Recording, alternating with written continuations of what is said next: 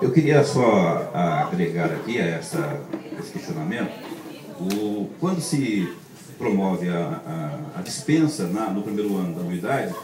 e, e esse escalonamento aí não pode é, gerar um impacto no, na, na, no, nos cofres da, da ordem, principalmente na prestação de, de contas, já pode ou não fazer, fazer falta?